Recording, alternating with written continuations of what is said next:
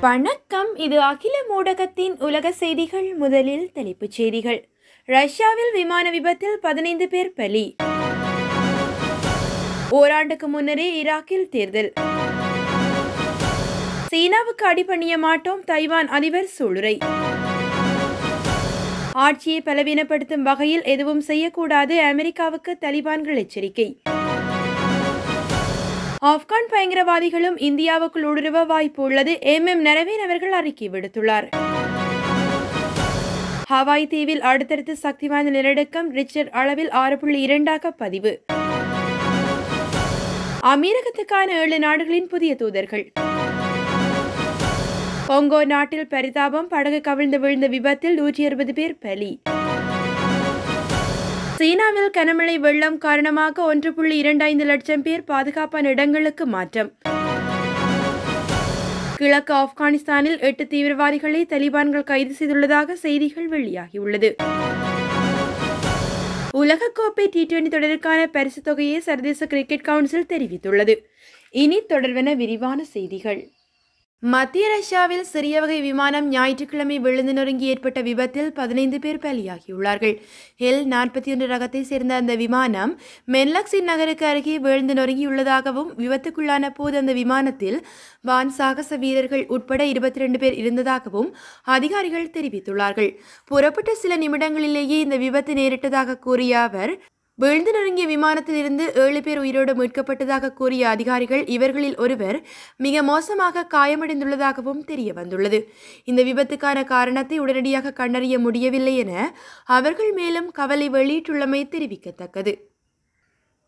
Iraq பாராளுமன்றத்துக்கு திட்டமிட்டதை விட ஓராண்டுக்கு முன்னரே ஞாயிற்றுக்கிழமை தேர்தல் நடைபெற்றது. அந்த நாட்டின் தெற்கு மாகாணங்களில் ஊழலுக்கு எதிராகவும் அரசியல் சீர்திருத்தங்களை வலியுறுத்தியும் பொதுமக்கள் கடந்த இரண்டாயிரத்தி பத்தொன்பதாம் ஆண்டின் பிற்பகுதியில் தீவிர போராட்டத்தில் ஈடுபட்டார்கள். இதில் அறுநூறுக்கும் மேற்பட்டவர்கள் உயிரிழந்துள்ளதுடன் அதையடுத்து அடுத்த ஆண்டு நடைபெறுவதாக இருந்த தேர்தலை முன்கூட்டியே நடத்த அரசு ஒப்புக்கொண்டது. எனினும் போராட்டத்தை அடக்க அரசு அடக்குமுறையை கையாண்டதால் இந்த தேர்தலை புறக்கணிப்பதாக பல போராட்டக் குழுவினர் தெரிவித்துள்ளார்கள்.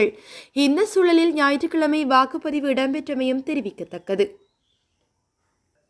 தங்கள் நாட்டை ஆக்கிரமிப்பதற்காக சீனா தரும் அழுத்தங்களுக்கு அடிபணிய போவதில்லை என தைவான் அதிபரான சாய் இங்வென் அவர்கள் சூளுரைத்துள்ளார். இதுகுறித்து தைவான் தேசிய தினத்தையொட்டி தலைநகர் தைபேவில் ஞாயிற்றுக்கிழமை நடைபெற்ற நிகழ்ச்சியில் கலந்து கொண்டு பேசிய அவர் தைவானை தங்கள் நாட்டுடன் இணைத்துக் கொள்வதற்காக இராணுவ ரீதியில் சீனா அழுத்தம் கொடுத்து வருகிறது. எனினும் இந்த அழுத்தங்களுக்கு தைவான் அடிபணியாது.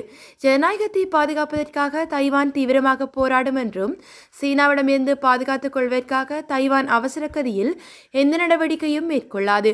எனினும் சீனா சொன்னதை கேட்க வேண்டும் என்று யாரும் தைவானை கட்டாயப்படுத்த முடியாத அளவுக்கு நாட்டின் பாதுகாப்பு பலப்படுத்தப்படும். தைவானுக்கு சீனா காட்டும் வழி ஜனநாயகத்துக்கும் இரண்டு புள்ளி மூன்று கோடி மக்கள் தொகை கொண்ட நாட்டின் இறையாண்மைக்கும் எதிரானதாகும். தைவான் வானிலையில் சீன போர் விமானங்கள் அண்மையில் ஊடுருவியது நாட்டின் பாதுகாப்புக்கு மிகப்பெரிய அச்சுறுத்தலை ஏற்படுத்தியது. அந்த நடவடிக்கையால் கடந்த எழுபத்தி ரெண்டு ஆண்டுகளில் இல்லாத அளவுக்கு மிக மோசமான பதற்றம் ஏற்பட்டது. சீனாவுடன் அமைதி பேச்சுவார்த்தை நடத்த தயாராக இருக்கின்றோம் ஆனால் அந்த பேச்சுவார்த்தையில் இரு தரப்புக்கும் சரிசமனான அந்தஸ்து இருக்க வேண்டும் என தெரிவித்துள்ள அவர். அவரது உரையை தொடர்ந்து தேசிய தினத்தை கொண்டாடும் வகையில் தைவான் போர் விமானங்கள் விண்ணில் அணிவகுத்தது. மேலும் இராணுவ தளபாடங்களின் அணிவகுப்பும் இதன்போது நடைபெற்றவை தெரிவிக்கத்தக்கது. ஆப்கானிஸ்தானிலிருந்து அமெரிக்க படைகள் வெளியேறியதை அடுத்து முதன்முறையாக தலிபான் அமெரிக்கா இடையே நேரடி பேச்சுவார்த்தை நடைபெற்றது. அதில் ஆட்சியை பலவீனப்படுத்தும் வகையில் எதுவும் செய்யக்கூடாது என அமெரிக்காவை எச்சரித்ததாக ஆப்கானிஸ்தான் வெளியுறவுத்துறை அமைச்சரான ஆமீர் கான் முட்டாகி அவர்கள் சனிக்கிழமை தெரிவித்துள்ளார். இருபது ஆண்டுகளுக்கு முன்பு அமெரிக்க படைகளால் தலிபான்கள் தோற்கடிக்கப்பட்டதை தொடர்ந்து அங்கு மீண்டும் ஆட்சி அமைத்துள்ள தலிபான்கள் இக்கருத்தை தெரிவித்துள்ளார்கள். கத்தார் தலைநகர் டோஹாவில் நடைபெற்ற பேச்சுவார்த்தைக்கு பிறகு செய்தியாளரிடம் பேசிய முட்டாகி இதுகுறித்து விரிவாக பேசுகையில் ஆப்கானிஸ்தானில் அரசை சீர்குலைக்க முயற்சிப்பது யாருக்கும் நல்லதல்ல என நாங்கள் அவர்களிடம் தெளிவாக கூறினோம். ஆப்கானிஸ்தானுடனான நல்லுறவே அனைவருக்கும் நல்லது. ஆப்கானிஸ்தானில் இருக்கும் அரசை வலுவிழக்க செய்ய எதுவும் செய்யக்கூடாது. அது மக்களுக்கு பிரச்சினைக்கு வழிவகுக்கும். ஆப்கானிஸ்தானில் கொரோனா தடுப்பூசி போட அமெரிக்கா உதவும். ஆப்கான் மக்களுக்கு தடுப்பூசி போட எங்களுக்கு ஒத்துழைப்பு அளிக்க அமெரிக்காவில் இருந்து வந்த பிரதிநிதிகள் முடிவு செய்துள்ளதாகவும் அவர்கள் மேலும் தெரிவித்துள்ளமை சுட்டிக்காட்டத்தக்கது. ஆப்கானிஸ்தானின் நிலைமை சீரானதும் அந்த நாட்டை சேர்ந்த அமைப்புகளும் ஜம்மு காஷ்மீருக்கு ஊடுருவ முயற்சியில் ஈடுபட வாய்ப்புள்ளது என்பதை புறந்தள்ளிவிட முடியாது என இராணுவ தலைமை தளபதியான எம் எம் நரவேணி அவர்கள் தெரிவித்துள்ளார். ஆப்கானிஸ்தானில் இருபது ஆண்டுகளுக்கு முன்பாக தலிபான்கள் ஆட்சியில் இருந்தபோது இதுபோன்ற ஊடுருவல் முயற்சிகள் நடைபெற்றதை சுட்டிக்காட்டி இந்த கருத்தை வெளியிட்ட அவர் இருந்தபோதும் எவ்வித சவால்களையும் திறம்பட எதிர்கொள்ளும் வகையில் எல்லையில் ஊடுருவல் முயற்சிகளை தடுக்க வலுவான திட்டங்களை மேற்கொண்டு வருவதாகவும் இந்திய இராணுவம் இதற்கு தயார் நிலையில் காணப்படுகின்றதாகவும் எம் எம் நரவேணி அவர்கள் தெரிவித்துள்ளமை சுட்டிக்காட்டத்தக்கது.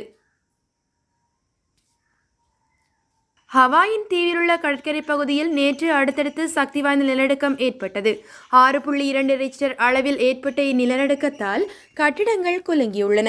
இதனால் அப்பகுதியில் வீட்டிலுள்ள பொருட்கள் தானாக கீழே விழுந்தது.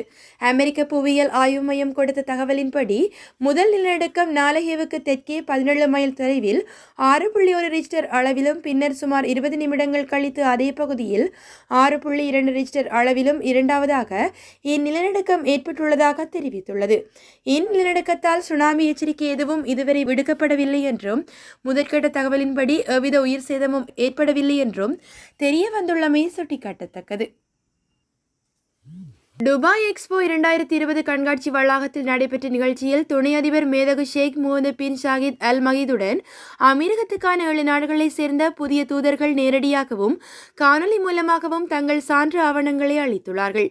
பல்வேறு நாடுகளின் தூதர்கள் பொறுப்பேற்கும் போது அவர்கள் தங்கள் நாட்டிலிருந்து அளிக்கப்பட்ட நியமனத்துக்கான சான்று ஆவணத்தை அதிபர் அல்லது அதற்கு இணையான பொறுப்பில் உள்ளவரிடம் ஒப்படைத்து பணியாற்ற வேண்டும் என்ற மரபு பின்பற்றப்பட்டு வருகிறது. அமீரகத்திலும் இதே நடைமுறை பின்பற்றப்படுகிறது. அதன்படி நேற்று அமீரகத்துக்கு Jordan Spain Djibouti Zimbabwe Cambodia Honduras Bhutan ஆகிய ஏழு நாடுகளுக்கான புதிய தூதர்கள் பதவியேற்றார்கள். இதற்காக துபாய் எக்ஸ்போ இரண்டாயிரத்தி இருபது கண்காட்சி வளாகத்தில் ஏற்பாடு செய்யப்பட்டிருந்த நிகழ்ச்சியில் யோர்டான் நாட்டு தூதரான நாசர் ஹபஸ்லா ஸ்பெயின் நாட்டு தூதரான இனிகோடி பெலசியோ டிஜிபவுட்டி நாட்டிற்கான தூதரான மௌசா முகமது அகமது ஜிம்பாபே தூதரான லாம்போர் மசமோ ஆகியோர் தங்கள் பணி நியமனத்துக்கான சான்று ஆவணத்தை துணை அதிபரான மேதகு ஷேக் முகமது பின் ஜாகித் அல் மகூதுடம் அளித்து வாழ்த்து பெற்றுள்ளமை தெரிவிக்கத்தக்கது. மத்திய ஆப்பிரிக்க நாடான ஹொங்கோவில் ஒன்பது படகுகள் ஒன்றுடன் ஒன்று இணைக்கப்பட்ட நிலையில் ஹொங்கோ ஆற்றில் சென்று கொண்டிருந்தது. படகில் இருநூறுக்கும் அதிகமானவர்கள் பயணம் செய்தார்கள். வடக்கு மங்களா மாகாணம் பம்பா நகருக்கு அருகில் வந்தபோது எதிர்பாராத விதமாக படகுகள் கவிழ்ந்தது. இதில் படகுகளில் பயணம் செய்த இருநூறுக்கு அதிகமானோரும் நீரில் மூழ்கினார்கள். தகவல் அறிந்த அந்த இடத்துக்கு வந்த மீட்பு குழுவினர் நீரில் தத்தளித்துக் கொண்டிருந்த சிலரை உயிருடன் மீட்ட அதே வேளையில் மேலும் நூற்றி அறுபதுக்கு மேற்பட்டோரின் உடல்களை மீட்பு குழுவினர் மீட்டுள்ளார்கள். நூறுக்கு அதிகமானோரின் நிலைமைகள் இது இதுவரை தெரியவில்லை என்றும் அவர்கள் இறந்திருக்கலாம் என அஞ்சப்படுகின்றதாகவும் இவர்களை தேடும் பணிகள் நடைபெற்று வருவதாகவும் அவர்கள் செய்தி வெளியிட்டுள்ளமை தெரிவிக்கத்தக்கது. சீனாவின் வடக்கு பகுதியில் அமைந்துள்ள ஷாங்சி மாகாணத்தில் கடந்த சில நாட்களாக கனமழை வெளுத்து வாங்கி வருகிறது. இடைவிடாமல் கொட்டி தீர்க்கும் கனமழையால் அங்குள்ள சுமார் எண்பது நகரங்களில் கடும் வெள்ளப்பெருக்கு ஏற்பட்டுள்ளது.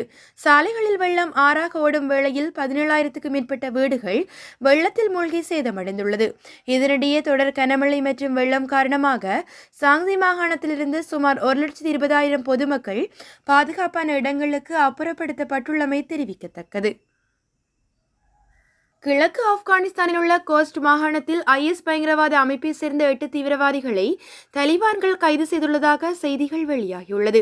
இந்த மாகாணத்தில் தீவிரவாத தாக்குதல் நடத்த திட்டமிட்டிருந்ததை அவர்கள் ஒப்புக்கொண்டதாகவும் கைது செய்யப்பட்ட அவர்கள் விசாரணைக்காக அழைத்து செல்லப்பட்டுள்ளதாகவும் மாகாண கலாசார மற்றும் தகவல் இயக்கத்தின் தலைவரான ஷபீர் அகமது உஸ்லாமி அவர்கள் தெரிவித்துள்ளார்.